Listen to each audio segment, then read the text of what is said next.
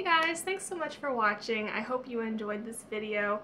I know it is a little bit different than my usual jewelry tutorials, uh, but I thought you guys might like to see what goes into creating a slightly more complicated piece. Um, this one did wind up, I think it was about three hours of video that I wound up condensing down, so this one was definitely pretty fiddly, pretty involved, but I really enjoyed it. Uh, please feel free to let me know in the comments below if you enjoyed this, if you'd like to see more types of videos like this. Um, this piece has sold already. It was actually a uh, special commission by a gentleman for his wife, which I thought was very sweet. Uh, but if you want something similar, feel free to comment me. I love custom orders. I, I really enjoy them. They're a good creative challenge for me. And of course, I have lots of stuff available in my Etsy shop.